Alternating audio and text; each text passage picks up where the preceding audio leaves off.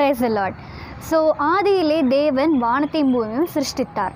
இதுதான் வந்து பைபிளில் முதல் வசனம் இல்லையா? இந்த வசனங்களில் பார்த்த பார்க்க போனோம் அப்படின்னா வரிசையாக வந்துட்டு முதல்ல வந்து இயேசப்பா வந்து ஆதியிலே தேவன் இயேசப்பா வந்து வானத்தை பூமியும் சிருஷ்டித்தாங்க. அதுக்கப்புறம் பூமி வந்து ஒழுங்கீனமாக இருந்துச்சு. அதுக்கப்புறம் வெளிச்சத்தை சிருஷ்டித்தாங்க.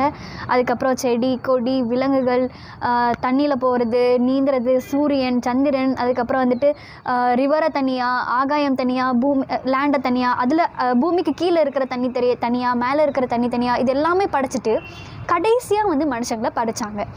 ஸோ இந்த பூமியில் வந்து இருக்க வேண்டியது மனுஷங்க தான் இல்லையா? ஸோ மனுஷங்களை வந்து ஏன் கடைசியாக படிச்சு படைச்சாங்க?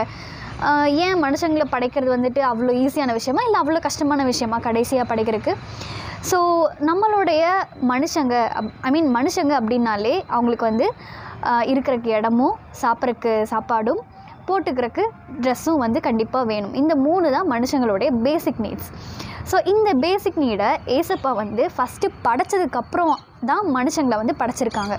இதனால மனுஷனுக்கு எந்த ஒரு கஷ்டமும் இல்லாமல் அவன் வந்து என்ன தான் வந்து அவ்வளோ பெரியவங்களா ஐ மீன் பெரிய உருவமாக ஏசப்பா படைச்சாலுமே ஸோ அவங்களுக்கு தேவையான சாப்பாடு அவங்களுக்கு இருக்கிற இடம் இது எல்லாமே வந்து ஏசப்பா படைச்சதுக்கப்புறம் தான் ஒரு மனுஷனே வந்து உருவாக்கியிருக்காங்க.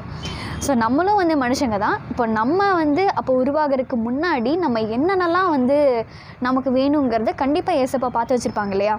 ஸோ எனக்கு இதுதான் வேணும். இந்த மாதிரி தான் எனக்கு வந்து செட் ஆகும்.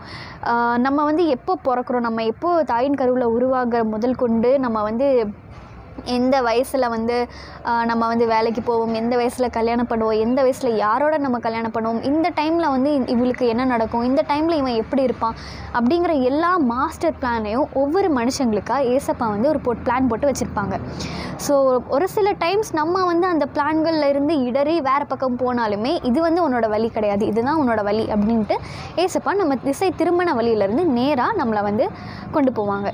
ஸோ நம்ம வந்து எதுக்காக வந்து ஃபீல் பண்ண பண்ண வேண்டிய பண்ணணும் அப்படிங்கிற வந்து அவசியமே கிடையாது. ஏன்னா because God has get greater plans than us so நம்ம என்ன கேட்குறா கேட்கலாம் அப்படின்னா இந்த உலகத்தில் காலங்கள் ரொம்பவே மாறிடுச்சு காலங்கள் ரொம்பவே கடிகாலமும் ஆயிருச்சு.